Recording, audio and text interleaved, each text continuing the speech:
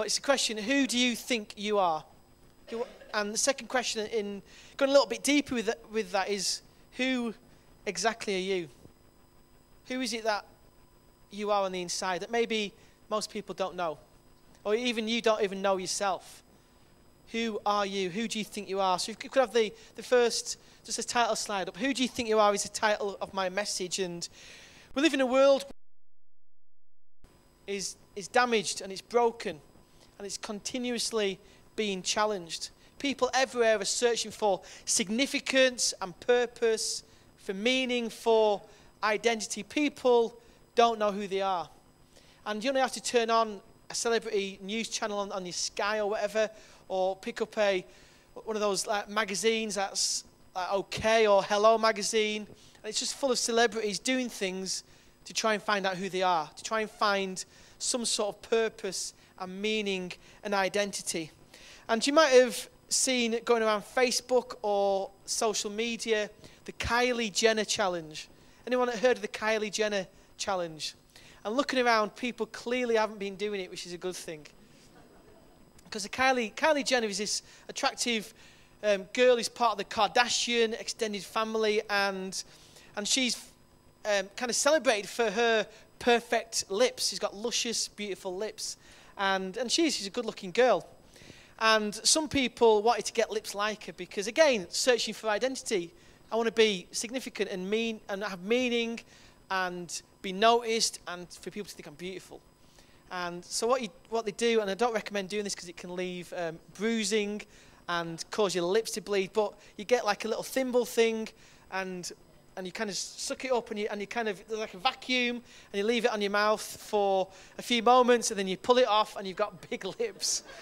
And honestly, some of them are hilarious because the lips are like four times the size of what they should be, and they're talking like that.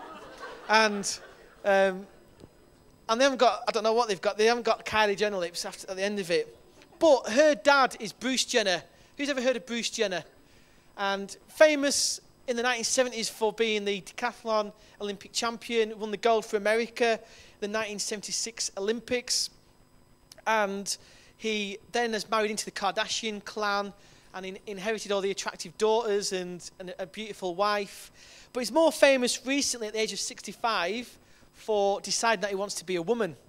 And if you put the next slide, there's a photo of him in his prime, and that's a good-looking guy. That is like I want that physique. Please, Lord. If, you want to ask something for Lord for this year, Lord, I want that physique. And to be slightly taller and tanned and have flowing locks. So he's a good looking guy. He won the gold and he said that throughout his whole life, he's felt like a woman. And he's felt that his true identity is as a woman.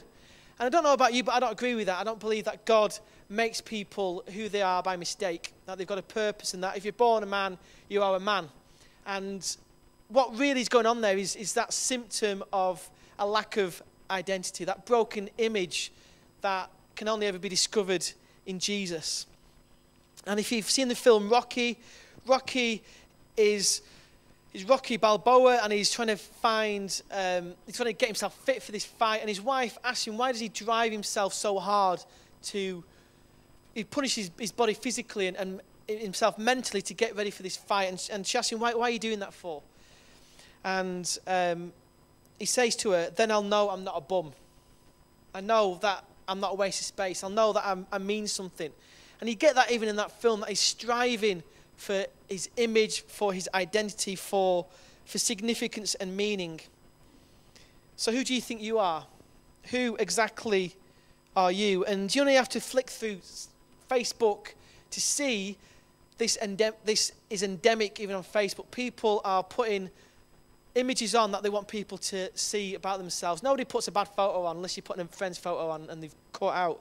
But you're always looking for your best profile, your best side, or you only ever put on that you have had a great day. You never, I never put on, for example, just woke up this morning and the kids just done my straight away. They came for a cuddling bed and wet, wet, wet our bed, or they've thrown their breakfast all over the table, but today's going to be a better day. You don't generally put that on, but you kind of celebrate the good stuff in life. And social media kind of projects It's a false image, really, and there's nothing wrong with that. We all want to kind of share good things about our life, but social media becomes this almost fake life where everything is rosy and perfect. But who do you think you are?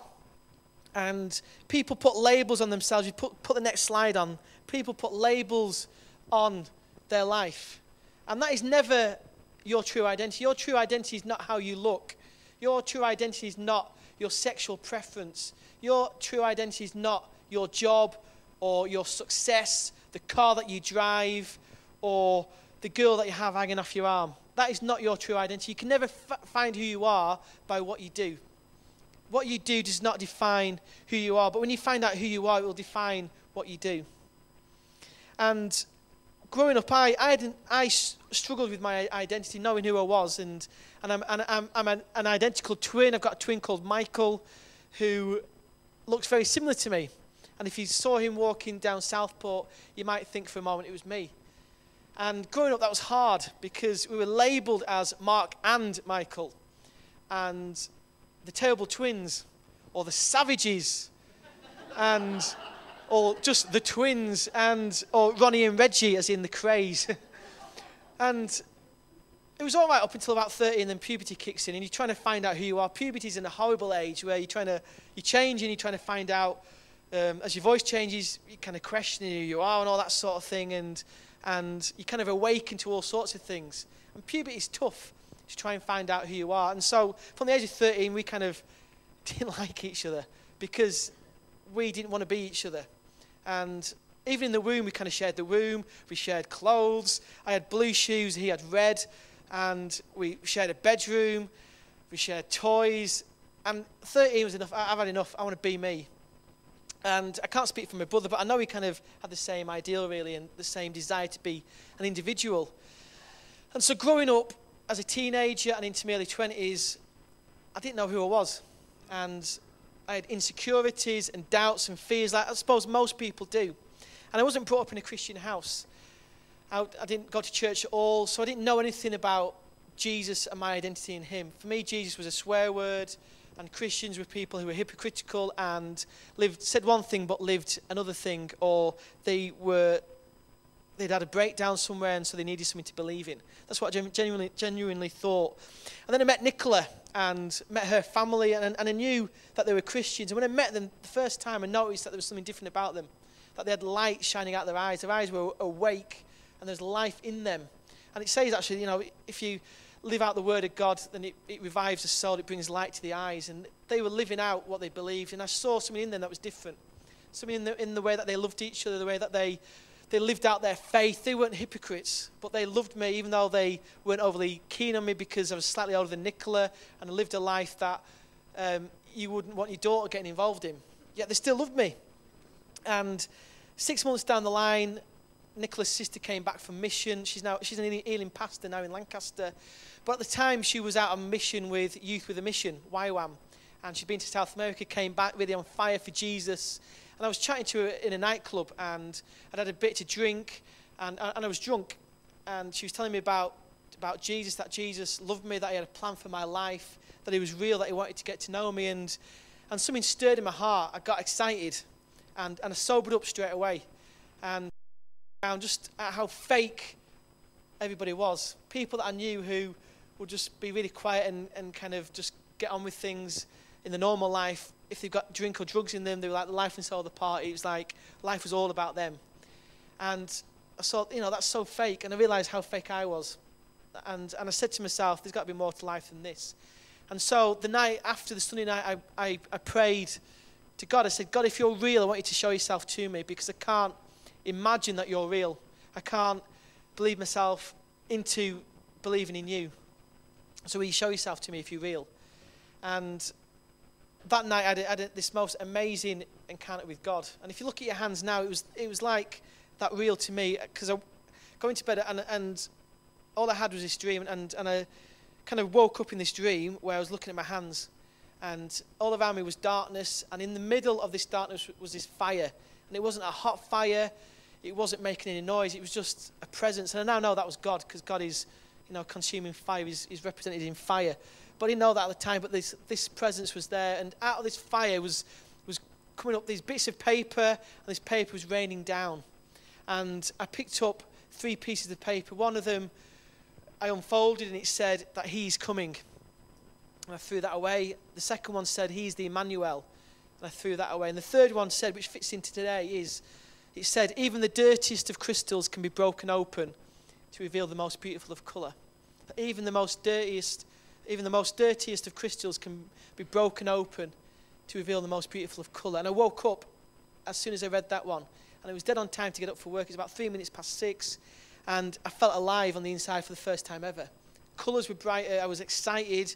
And I knew there was more to life. But in my head, I was going, that didn't just happen. But I knew it did because it had gone deeper. And for two weeks, I said nothing.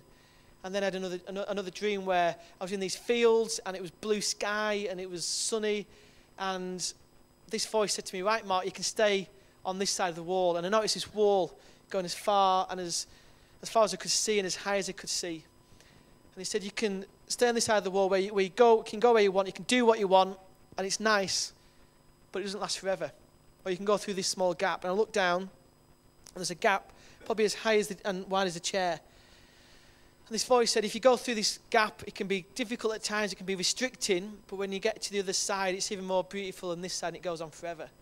And as soon as he said forever, I woke up three minutes past six, again, knowing God has spoken to me. And so the next day, I gave my life to Jesus. Because I knew Jesus was real, but I didn't want prepared to submit to his lordship and to make it real in my life. And that, for me, began a process of discovering who I was. That, that this dirty crystal that is me was going to be broken open to reveal the most beautiful of colour that God had put inside. And God had ordained me for, had created me for. That God was going to reveal something in and out of my life. So that question again, who, who are you? Who do you say you are? Who do you think you are? We are made in God's image. You are more loved than you can ever realize. And I know we get, we get moments where we, where we sense God's love, and there's nothing like it. There's moments where God seems a million miles away, but the truth always is that you are made in God's image. You are loved by a heavenly Father who created you on purpose and with a purpose. And Psalm 139 reflects that, doesn't it? That we are fearfully and wonderfully made, that God's thoughts for us and towards us are innumerable, and the good and the perfect. So God's thoughts to you are not what, what mistakes you've made. God's thoughts towards you are not what you don't do for Him. God's thoughts towards you are good, and they're about you. So, what is it that God says to you about who you are? Because I believe that God wants to unlock that in your life, that God wants to speak to you about who you are in Him, about your identity. So, if we're made in God's image, where did it all go wrong? And it's in Genesis that we read that. If you want to turn with me to Genesis 3, I'm going to read verses 1 to 18. So, we're made in God's image. Everyone is looking for identity, but if we're made in the image of God and we have identity in Him, why are we all so messed up? Why are we still being repaired from the inside out? So Genesis 3, verses 1 to 18. I'm going to read, I'm going to read from the New Living Translation. It'll be slightly different to yours, if you're NIV or whatever. And it says that the serpent was the shrewdest of all the wild animals that the Lord God had made.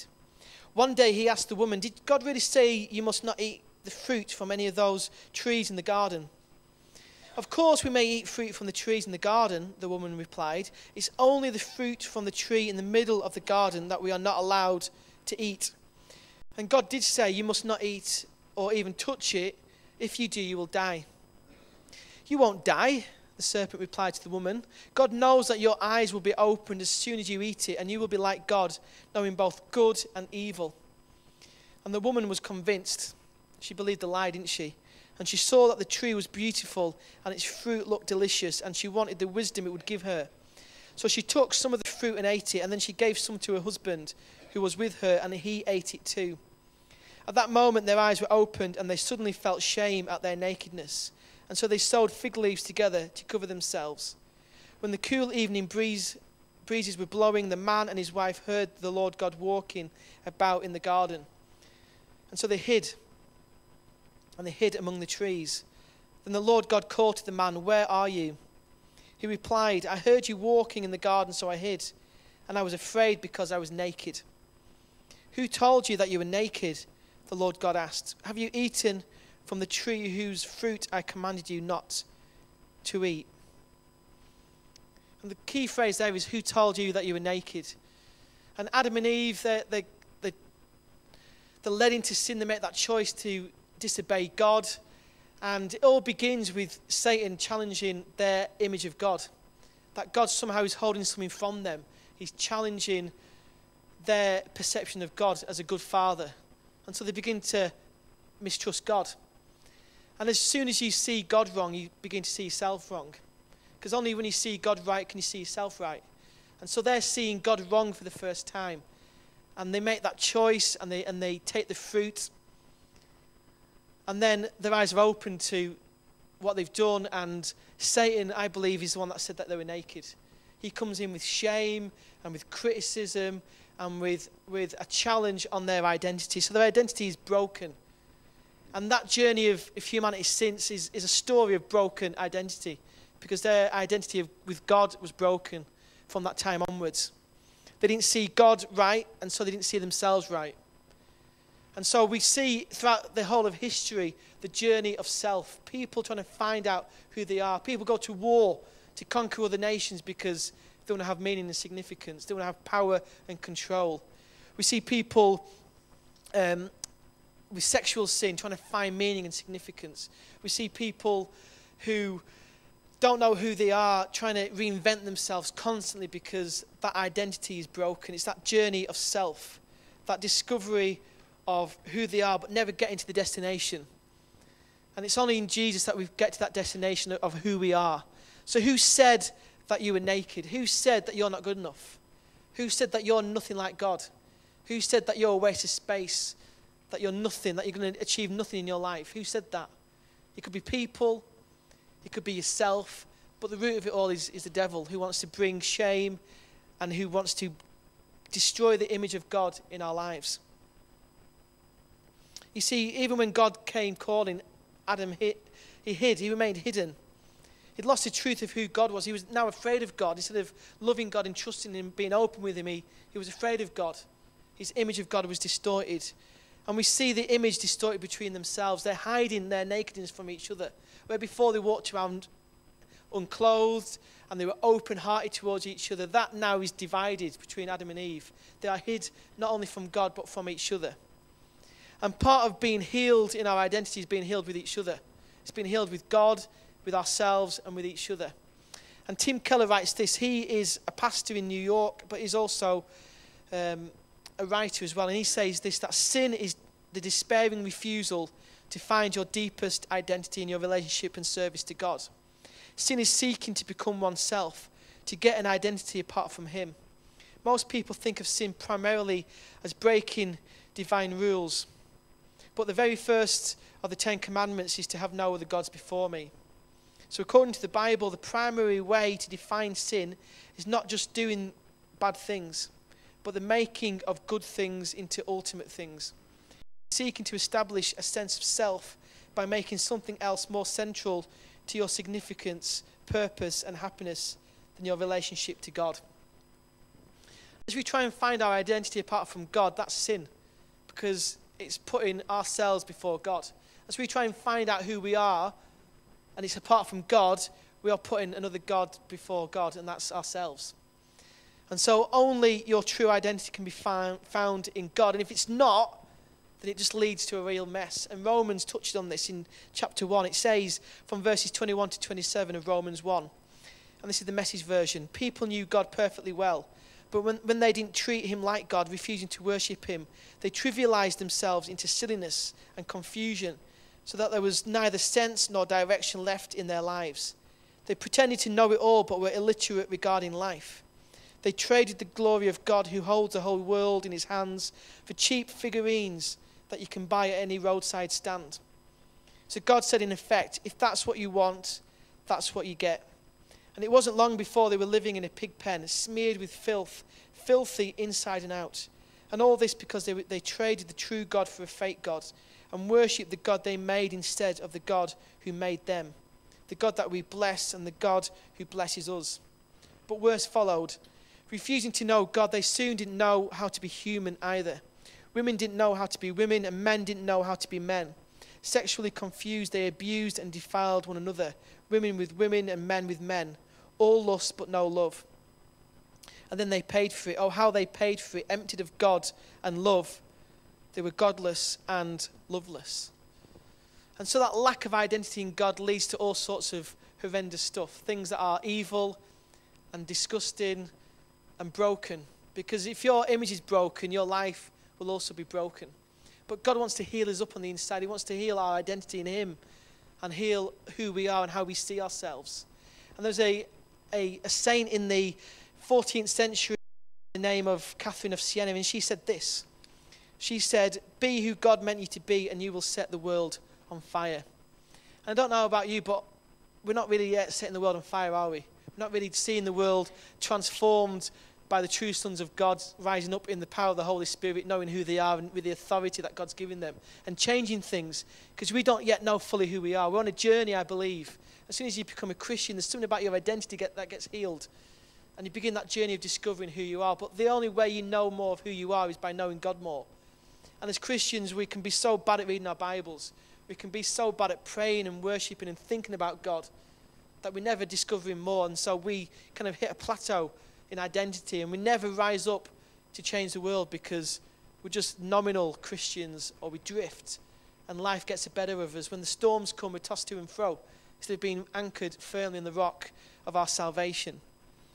And David begins to get awakened to that. He, he talks about it in Psalm 100, 139, but also in Psalm 8, he says this that when I look at the night sky and see the work of your fingers, the moon and the stars you set in place, what are mere mortals that you should think about them? Human beings that you should care for them. Yet you made them only a little lower than God and crowned them with glory and honor. You gave them charge of everything you made, putting all things under their authority the flocks and the herds and all the wild animals, the birds in the sky, the fish in the sea, and everything that swims the ocean currents. So he's beginning to be awakened there to the true identity of humanity, with, who've got authority to change this world. That Adam and Eve were given a mandate to subdue the earth, to look after the animals, to plant, plant food, and to, to see whatever had been there that was not of God, to push that back, to go out into the earth and subdue it, subdue it from its chaos and its disorder. Yet that was lost, wasn't it, with, the, with sin and with the fall, with that broken identity. But David is awakened to that. But there's nothing better than being awakened to that by Jesus. David did not have what we have. We have a greater um, experience of God than David ever had. David knew God and they had a heart after God, but we've got God living inside of us, not just to empower us for, for a mission like David. He was anointed because he was king, he was anointed for a purpose, but we've got God in us who wants to transform us. David never had that transformation, yet he still recognized something of the identity that God had put in him and was trying to call out. Jesus said that he came to give us life and life to the full. And his cousin John writes in 1 John chapter 5, and this is the testimony that God has given us eternal life, and his life, this life is in his Son. He who has the Son has life, and he who does not have the Son, he who does not have the Son of God, does not have life. We are awakened to life. We have got life in us that we never had before. If you're not a Christian, you don't have life. You're not awakened to the truth of who Jesus is, to that life that is in us. When I woke up that morning after that dream, I had life in me for the first time. It was awakened. And you can only be awakened to life first, but I believe that life awakens us to a journey of discovering life even more. Life in all its fullness. Because Jesus said he came to give us life and life to the full. I don't know about you, but I don't always experience life to the full. Sometimes life is a mess. Sometimes life is hard. Sometimes I don't like myself. Sometimes I don't believe in myself. But Jesus wants us to believe in who we are because He's given us an identity and a calling. We are made in His image. So, God, would you awaken us with your life? Colossians 3 says um, that we have put on our new self, which is being renewed in the image of its creator. Here there is no Greek or Jew, circumcised or uncircumcised, barbarian, Scythian, f- slave or free, but Christ is all and is in all. We are a new creation. The old is gone. But we need to somehow learn to live in that new creation, to put off the old self and continue to learn what it means to live in the new self. A self who is loved, who is cherished by a heavenly Father, who is awakened to life. And it's a choice you've got to make. You can't just drift through life. I can't just drift through life thinking everything's sorted because it's not. I can't just think I'm saved and everything's all right because I want to awaken to my identity. I want to know what, what is it that God's put in me that I've not yet discovered. He never hides anything from us, but He hides things for us to discover in Him. And your identity, the deepest part of who you are, can never be shaken. It can never be taken away. There's nothing can, that can separate you from the love of God. It might separate some of your choices, some of your material goods. It might separate your career from you. It might separate certain bad relationships from you, but it'll, it'll never separate you from Him because who you are is unshakable and it's deep down and it's given to you by God. But most of us don't know yet who we fully are. And we'll never fully realize that until we see Him face to face. But I want to know more and more of who I am. I want to be confident in, who I am and, and walk in that authority that is given us as sons and daughters of God. Because we need to set the world alight, don't we? We want to see the world transformed. It's not about having better meetings on a Sunday, but, but about having a better Southport and about having a better family and seeing God's culture come on earth instead of the culture affecting the church. We want to see the kingdom come, don't we, on earth as it is in heaven. So be who God meant you to be, and you will set the world on fire. You need to know who you are first. And there's so many wishy washy Christians out there because they don't know who they are. And I don't want to be wishy washy, and I don't want to be someone who just gives up easily when life gets tough, or gives up on God because things aren't always ideal, or church doesn't play the songs I like, so I'm giving up on church. You know, go to another church if that's what, what happens, but don't give up on God. Don't give up on discovering Him in your life. And I love it how Jesus, he's affirmed in his identity. He knows who he is. And as a kid, he's in the, he's in the temple about age of, of about 12 and his parents have lost him, and they go in there, and he's there, and he says, I'm in my father's house. He knows who his father is, he knows who he is. But when he gets baptized, he goes down in the, in the water at the age of 30, comes back out, and the father says, This is my son whom I love. With him I am well pleased. And he says it again upon the Mount of Transfiguration. Peter wants to build some kind of um, some buildings to celebrate and to kind of almost remain up there in that moment. But God speaks, This is my son whom, whom I love. And each time Jesus is affirmed in his identity so he can do what is right. He can go into the wilderness and face the devil and resist temptation because his identity is secure. He can come down from the Mount of Transfiguration and go to the cross because his identity is, is secure. It's not about him getting all the praise from the people or hanging out with Moses and Elijah forever up on that mountain, but actually he's got a purpose, and that is secured because of his identity. He knows who he is. And Zephaniah 3, I, lo- I love this. This is one of my favourite verses in the whole of the Bible where it says that God rejoices over us with singing. What is God singing over your life? What is He singing to you about you? And too often we're saying, God, I want a purpose. God, what is it that you called, saved me for? And I spent years doing that. God, what am I going to do in my life? When really God wanted me to know who I was in Him first. And that's the most important thing is, is discovering who you are in Him. Discovering the Heavenly Father who loves you, but knowing that you're a son, you are forgiven, and you are free. But what is it that God wants to break out of you? What is that He wants to shatter off you that is making you a dirty crystal? What is that most beautiful of colour that He wants to bring out of your life? And it's unique to you. I can't say what it is for you. I don't quite yet know who it is for me. But I want to love God and love people. And that's beautiful, isn't it? I want to love my wife better. I want to love my kids better. I want to, I want to love my neighbours better. I don't just want to preach better or, or to pray better or to understand the Bible better. I, I wouldn't care if I didn't have any, any more intellectual understanding of the Bible as long as I, I lived it out and had revelation in my heart about it. It's not about knowing it up there, it's about having it in your heart and living it out. So, what is that most beautiful, beautiful of colour that God wants to bring out of your life? So, to finish off, just three points, kind of summing up what I've said. So, how do we find our true identity? And it's a journey. The first one is that it's in Christ alone. If you're not a Christian, you don't yet know who you are. You don't know that you are a son of God with a heavenly Father who totally loves you and wants to fill you with his Holy Spirit so that you can transform your world and be a part of his great story. So it's found in Christ alone. And then, secondly, it's by discovering who God is more and more, and you'll discover who you are. If you don't spend time with God, you're not discovering who you are. You're kind of plateauing. You, you, you're stopping yourself knowing who you are because only with God's voice can He break open and reveal things in your life about who you are, about your dreams. And, and I came across a lady in Birmingham. She was um, almost 90 years old. And I saw on, these, on her wall these amazing, amazing pictures and paintings that, sh- that somebody had drawn. And I asked her who draw, drew them, and she said she did. And they were honestly amazing, so perfect and, and well drawn. She could have sold them. And she didn't discover she could draw like that until she was 60. She'd retired, and one day she was bored, so she picked up a pen or a pencil and began to draw and began to paint. And she created these amazing pictures. She didn't know something of what God had unlocked, uh, had put inside of her, and it was unlocked at 60. So God has not finished with any of you yet about revealing something about you that He's put in you. This maybe there's a creativity, maybe there's a inner tenacity that you, you're going to be awakened so you, so you can get through the circumstance that you're in.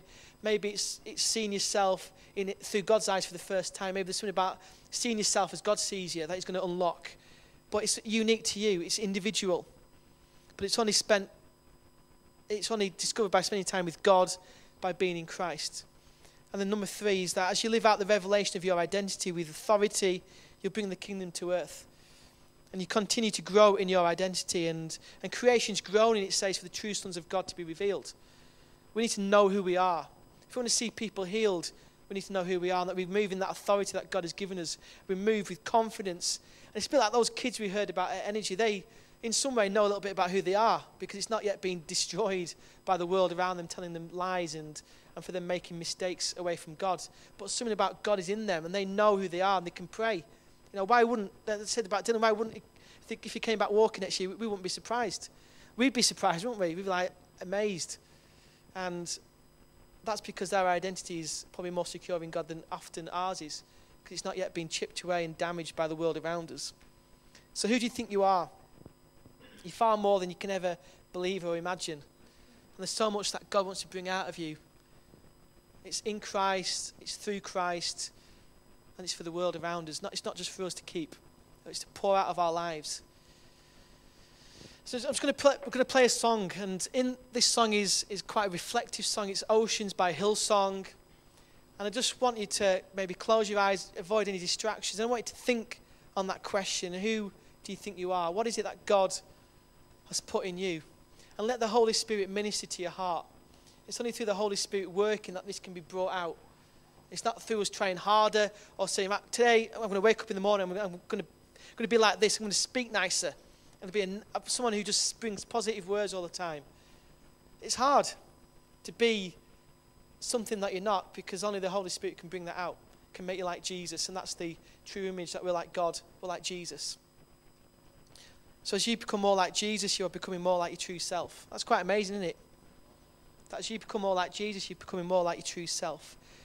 And I want to pray in a little bit during this song. So just reflect, just listen, let the Holy Spirit minister and then I want to pray as well.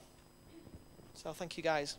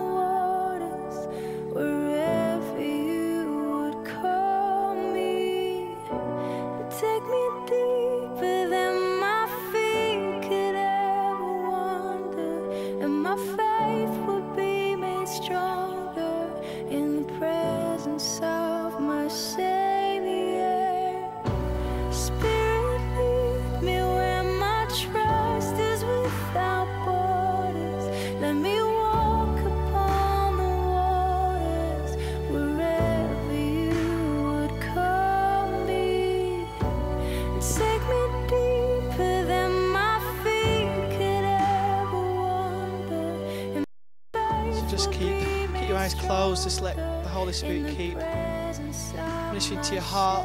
that thoughts come into your head that God is showing you about yourself. Let the peace of God come. Maybe there's people here today who, who don't yet know Jesus.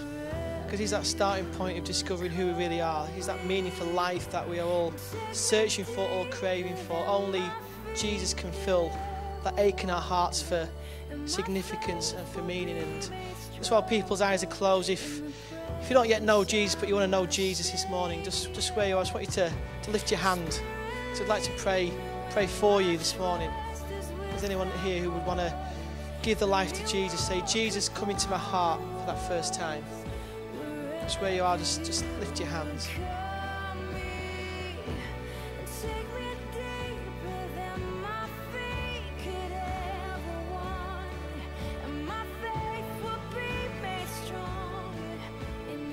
You, Jesus. Thank you, Lord. So we're gonna we're all gonna pray this prayer for, for the person who's put the hand up. We're gonna all say this together. And it's a prayer to invite Jesus into our hearts. So I'm gonna lead us, and then I want you to everyone to say it so we make that, that person feel comfortable. So Jesus, I thank you that you died for me. I thank you that you love me. And I invite you into my heart right now. I ask that you would fill me with your Holy Spirit. That you would speak to me about your love. You would give me an identity in you. Help me to live for you. I declare that you are Lord of my life. And I want to live for you. And I ask all that in your name, Jesus. Amen. And just, just where you guys are, just, just put your hand on your heart. Because that's where God does his deepest work, in it? It's not in our heads, but it's in our hearts. And I'm going to pray for you guys for your identity, that God would awaken. In fact, if, if this is spoken to you this morning, if you want to say, God, I want, I want to discover more of who I am in you, I'm going to invite you to stand. Stand with me because I'm standing for this myself. If you want to say, God, I want to, I want to know who I am more in you, I'm going to stand and make this declaration and this invitation this morning for your Holy Spirit to do a deeper work. If you know fully who you are, then you're amazing. Come and touch and pray for me later on, please. Because it's a journey of, of discovering Christ and ourselves in Him. And I'll invite the, the band to come up. We'll sing a song at the back and the end of this. So, Father God, I thank you that you are our greatest champion, that you love us, that you're cheering us on, that you sing over us, you rejoice over us, that you're, you're pleased with us. We are your sons and your daughters, and with us you are well pleased. And God, in Jesus, where there is no condemnation, there's nothing that we've done that can separate us from your love. We just have to be unlike Adam, who, unlike, unlike him who hid, we want to run into your arms again. When we've messed up, we want to say, Father, embrace us. Love us again. Teach us who we are, God. Correct us. train us to be more like Jesus. Because we know that Jesus, only in and through you can we know who we truly are. And only as we know who we truly are can we move in more and more authority to see this world transformed. God, if we want to prophesy, we need to hear your voice. If we want to pray for people to be, to be healed who are sick, we need to be filled with your love and your compassion.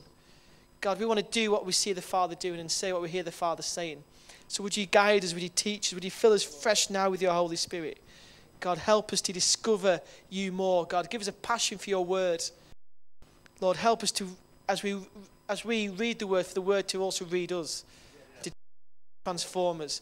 Help us to pray, and as we pray, God, for things, would you, would you also say things to us and speak things to us that unlocks things in our life, God, that give us a confidence to be who you've called us to be. And Father, now as we worship, would you give us hearts to really receive your love for us, God? We want to connect with you in worship. We don't just sing songs because it's what we do, like some sort of Christian karaoke, Lord. We are singing because we want our hearts to be transformed by you, God. Would you connect with us as we sing this final song and celebrate your goodness and the fact that in Christ we can find out who we are? And we ask that in Jesus' name. Amen.